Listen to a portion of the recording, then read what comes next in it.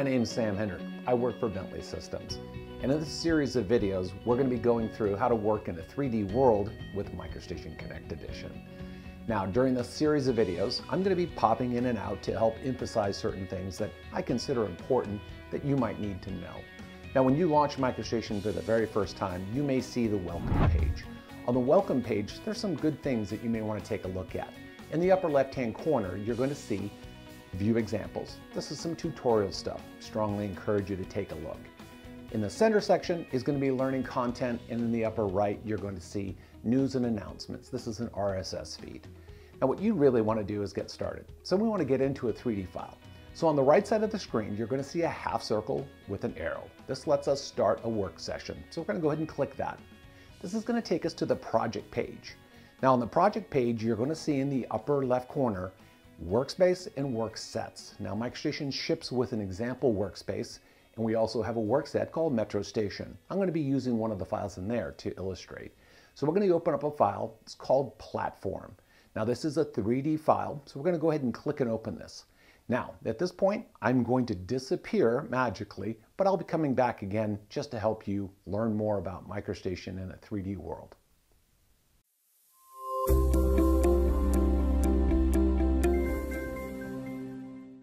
And now we're going to be opening up our file. The file's called platform.dgn. I'm going to go ahead and click on this. And this is going to be opening up our 3D file in MicroStation Connect Edition. Now, the fact that we're in a 3D file is somewhat obvious because you see our project in an isometric or user-defined rotation. I want to point out that we have three different views open. I've got view number one, which is a user-defined rotation, and then view number two, which is a left, and then view number three, which is a right. Having multiple views open when working in 3D is a great thing to do. Pro tip. Now, next thing we're going to talk about is how do we navigate around in a 3D file. If you're comfortable with icons, and a lot of people like them, I'm going to go to my view number one, I'm going to go to my rotate view on the view controls, and I'm going to slide on down and choose open as a toolbox. Now there's some icons that are fairly representative of what they do. The first icon is rotate view. When I click on this, looking at my tool settings window, you can see I have the method set to dynamic. The other methods, most of them, except three points, are all standard rotations. So I'm going to leave it set to dynamic. I'm going to move my cursor back into view number one, and I'm just going to data anywhere, and you're going to see a little plus sign show up, and this happens to be down here at the bottom.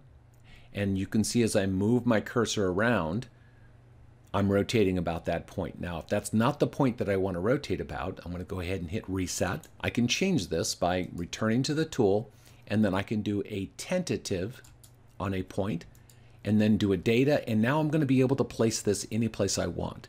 So I'm going to move my cursor right about here. I'm going to do a data, and now that's the pivot point. So I'm going to click, and now I can rotate my view about this point. Now there's other ways to rotate the view quickly using your mouse and your keyboard. We're going to first look at some of the other options. So I'm going to rotate it around the way I want it. I do a data and there it is. I'm going to hit reset. That gets me back to my previous command. Now some of the other methods you can rotate the view to. So for example, there's top. I'm going to choose top. This rotates my active view to the top. I'm going to choose isometric. This rotates my view around to the isometric orientation. Now, there is a view previous here, so I can go back and see the previous orientations. Now, there are other ways for you to navigate around using just your mouse and partly your keyboard. On your mouse, if you hold the wheel down, and this depends upon how your organization or you personally have configured your mouse, if I hold the wheel down, I am in pan. And this allows me to just dynamically pan around on my screen. And if I double click the wheel, that's fit view. Now, if I wanted to rotate the view, what I can do is I can do a tentative. This is, again, a pro tip where I want to pivot about. So let's say I want to pivot about this point right here. I'm going to do a tentative. I'm going to hold the shift key down on my keyboard, and then I'm going to hold the wheel down on my mouse and you can see I'm pivoting or rotating about that point. That makes it very convenient. Shift, hold the wheel down. So by just panning and rotating You also can scroll the wheel to zoom in and out, a very obvious method for doing that. That's basic navigation.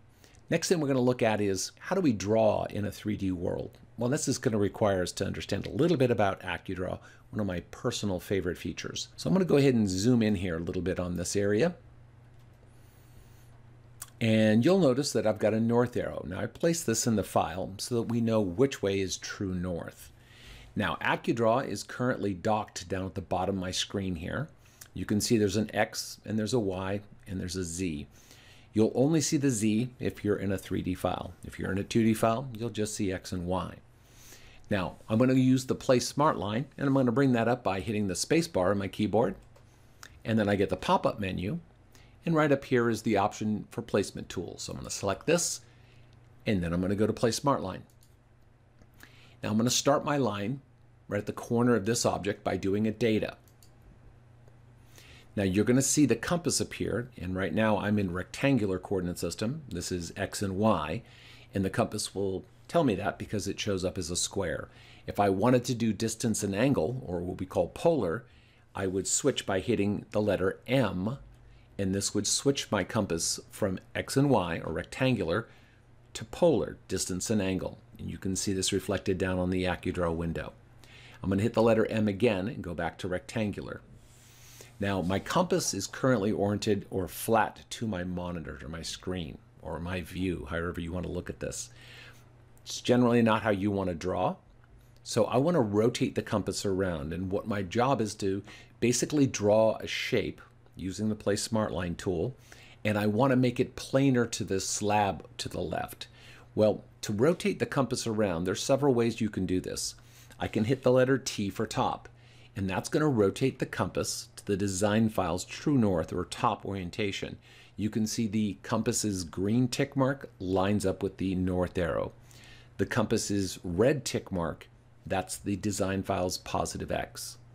Now if I hit the letter F, this will rotate the compass to the front orientation. And if I hit the letter S, this rotates it to the design file's side orientation. So I'm going to hit T for top again here. Now, being in a rotated project area, you can see north is true north, and our project isn't perfectly orthographic to north. So this is most common in projects drawn coordinate correct. What I want to do is I want to line my compass up. So I'm going to zoom in a little bit here. And I want to line that AccuDraw compass up so that I can draw flat to this slab or planar. So I'm going to use a two-letter shortcut. It's the letters RE. These are AccuDraw shortcuts.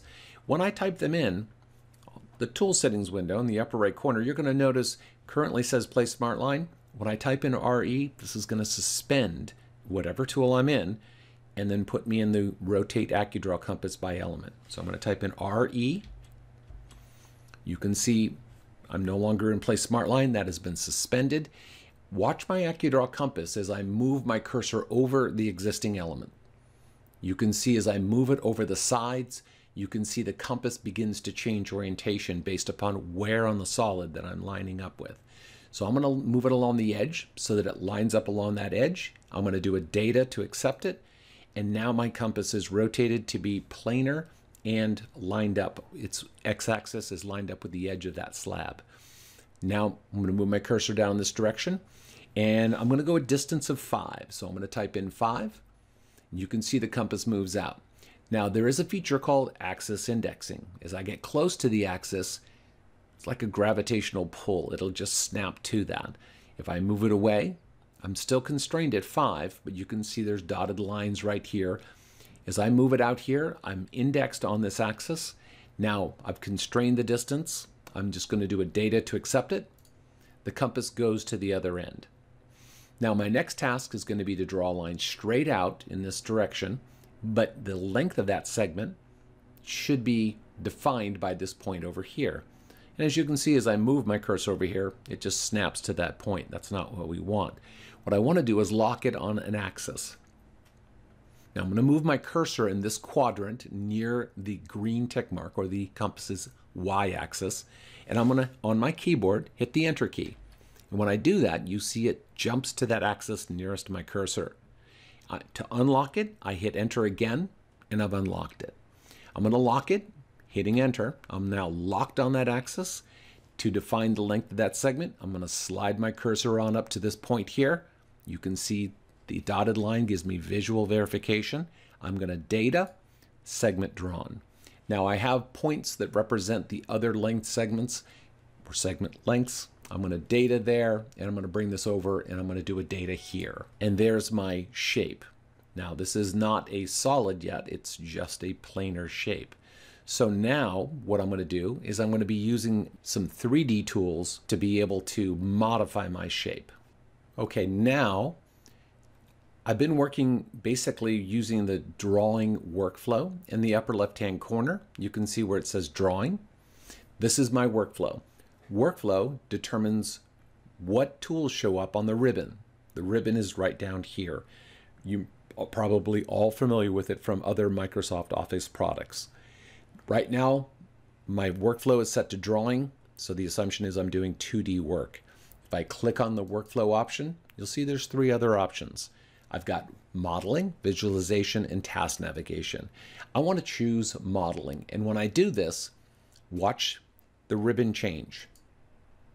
You can see now I have solids, surfaces, mesh, content, things like that. Now, I'm going to choose solids. And you can see here, I've got a number of different tools here. Whoa, okay, let's pause for a moment. Time out. I just mentioned changing the workflow from drawing to modeling. And I mentioned that it changes what's on the ribbon. But what I didn't tell you is it does so much more. And I want to expand upon that. So I got a little tiny insert. I'm going to pop it in right now. I want to take a moment and go a little bit deeper into workflows. Changing the workflow from drawing to modeling doesn't just change the ribbon across the top, it affects other things. Let's take a look at this. Right now, my workflow is set to drawing. If I bring the pop-up menu up by hitting the space bar, if I go to something like placement, what you're going to see on that pop-up is primarily for 2D. If I hit the spacebar again, and I go to the modify, the modify tools are going to be 2D modify tools. I'm now going to go and change my workflow from drawing to modeling. Let's see how that affects the pop-up menu. I'm going to hit the spacebar. Let's go to placement again. You'll notice that I have 3D tools available to me. Again, I'll go to the spacebar. This time I'm looking at modify. And you're going to see the modify tools here, here for 3D. So changing your workflow has deeper ramifications than just the ribbon across the top. Well, that was pretty cool, wasn't it? I really like that. MicroStation knows based on your workflow what to show up on the pop-up menu. This is pretty cool stuff. How it's doing this is something called named expressions. Named expressions been around in MicroStation for a long time. You've been using it, you may not have been aware of it. Matter of fact, I should probably do a video on this. Oh, wait a minute, I think I already did. It's on YouTube, you should check it out. Now, back to our regular scheduled programming. That extrude, extrude along. I can draw in, put a hole in an object, things like that. We also have our basic primitives. So what my job is here is to take this shape and to extrude it. So what I'm going to do is click on the extrude tool. On my tool settings window, I have options to use my active attributes. If I don't check that, then my solid is going to be the same attributes as my shape that I start with. You also have an option to keep the original. This is something you might want to do. Oftentimes, when you extrude something, the shape that you're extruding it from, you may find that you need to change that shape. If you don't have the shape there, the original kind of makes it tough. You also can define the distance and the thickness here. So what I'm going to do is just select this. I'm going to click on this. You'll notice the AccuDraw compass appears and it orientates itself perpendicular to my, my shape. So I'm going to slide my cursor up now I can type in a distance at this point if I want to using AccuDraw, or I can move my cursor over here and I can find an existing point and I can just do a data and now I've got a slab represented right there. Now, to modify my slab, we have over here, modify solid tool. I can go ahead and select this. It wants me to identify the solid that I want to modify. But to take a quick look at our tool settings window, I'm going to come over here. I've got three options here. This is modify face, which allows me to just modify a face of the solid. This one is modify edge. And then the last one is modify a vertex. So at this point, what I'm going to do is I'm going to say modify face. I'm going to select and say modify face. So what I'm going to do is I'm going to zoom out a little bit and I'm going to select the solid. And you can see as I move my cursor around, you can see it highlights different areas. So I'm going to go ahead and select this one. And as I move my cursor up, I'm taking that face and extruding it up. And again, I can type in a distance or I can select an existing point, which I'm going to do. Do a data, and there's my solid. I extruded it up. So that's the basics right there. We're going to be covering more in additional videos following up. Now what we're going to do is take a quick look at display styles, how we're seeing our model displayed. So I'm going to go ahead and do a fit view. And to change your display style, there's a couple of ways to do this. If you go to your view attributes, which is right up here, I click on that, you can see display styles is listed right here. This is one way for me to change it, and it is per view. The other way to do this, dismiss that, is there's display style set right there. If I click that, then the options for it are appearing on my tool settings window. And you've got a number of different options. For example, there's hidden line, hidden line realistic. We also have some other options like um, thematic height, which is great for doing contours and surfaces. So what I'm going to do is I'm going to say I want to see this hidden line realistic. I'm going to click in the view. And now what I'm seeing is basically a hidden line of my model. There's lots of other options. There's uh, what I had it set to was illustration. Let's choose illustration with shadows. Again, I select that, I click in the view, and now you can see it's back to what it was. So that's a basic introduction to display styles. And this is a design file setting, so if you do change the display style, make sure that you save your settings if you want it to remain that way.